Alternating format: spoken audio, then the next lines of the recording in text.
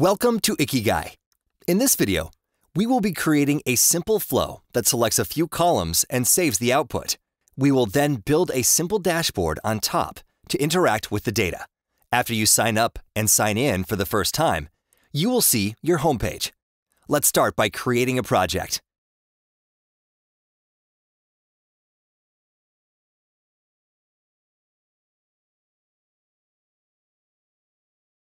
Next, let's create a new flow inside of this project.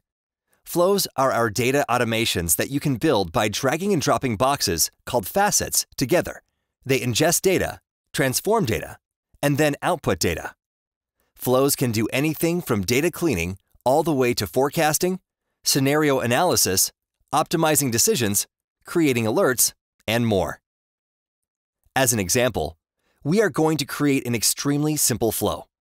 We have a data set with many columns, and we simply want to create a new data set by retaining only a few columns. Precisely, we will read the data set with many columns, select certain columns, and then write the selected columns to a new data set. This is what the flow canvas looks like. Let's start off by uploading a CSV or Excel. If you don't have one on hand, we have a link down below for you to download the example dataset we are working with today. Click the Add button and you will see this window. Name it, and then drag and drop the file into the gray box. You should now see the dataset populated in the left Inputs menu. Drag and drop the dataset into the canvas. This creates the Import Dataset facet. Facets like this one are the building blocks of the flow. They allow us to import data into the workspace, further process the data, and enable writing data or other downstream tasks.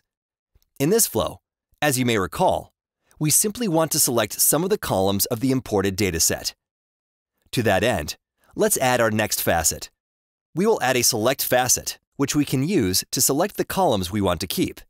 Search for Select in the facet search bar up here and click on Select.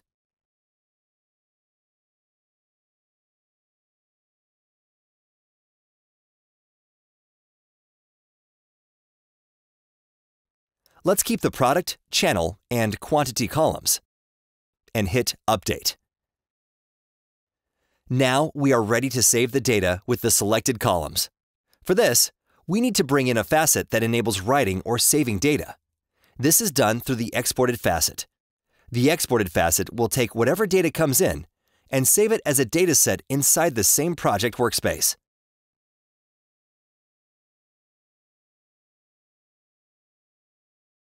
Now, let's hover over to the arrow and click on the eye icon. We allow you to peek any arrow to see what the data looks like at any specific point of the flow. Let's first see what the dataset looks like. This is what the data looks like at the first arrow. While you are peeking, if you want to quickly visualize the data, you can do that by clicking the Chart button. Let's quickly walk through an example. Click on the Settings button, which will reveal this window for us. Then, click on Bar Chart, Product for X-axis, and Quantity for Y-axis.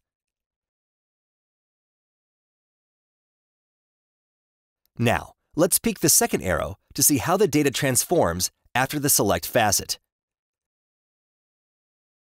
We can confirm that the data now only has the three columns we selected,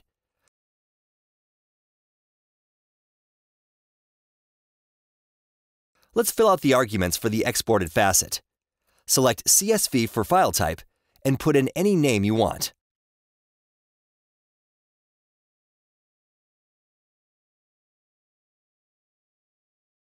Now we can run the flow and output our results as a dataset.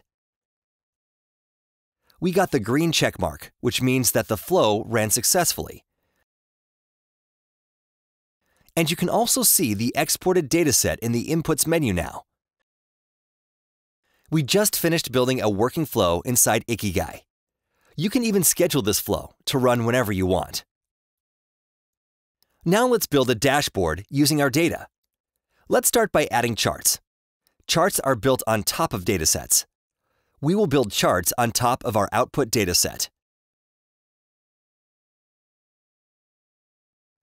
Hover over to your new chart and click on the three dots, then Browse. You will be taken to our chart building view.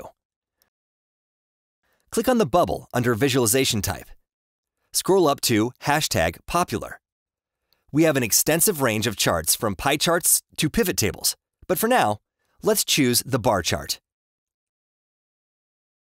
Next, under Metrics, click on Add Metric, then click on Simple, Quantity for Column, and Sum for Aggregate.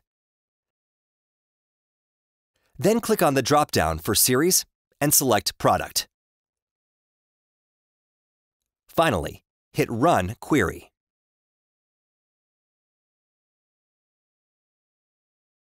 Next, hit Save, and then Save again.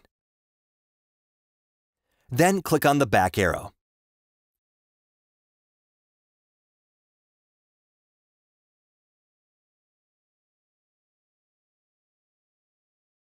Let's add another chart. This time, we will be making a filter for the dashboard.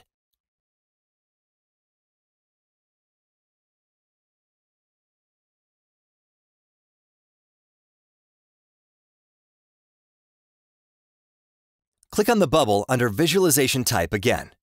Search Filter and select the filter box. Click and Run Query. Click on the plus button to add columns we want to filter by. Let's add the product column. Click on the box for instant filtering.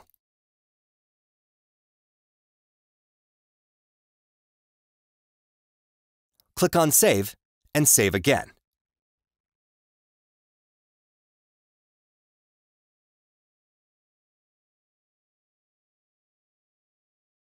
Let's now add a dashboard.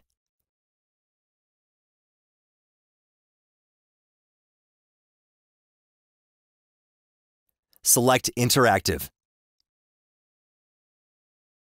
You should now see the newly created dashboard. Hover over to click on the three dots and click Browse.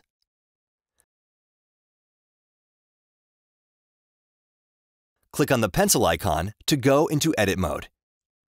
Click on the Charts tab. Drag and drop the filter chart and bar chart we created.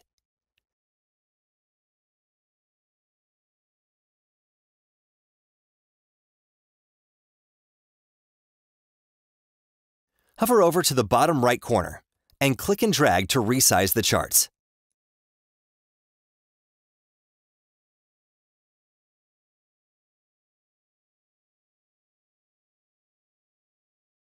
Now, hit the Save button.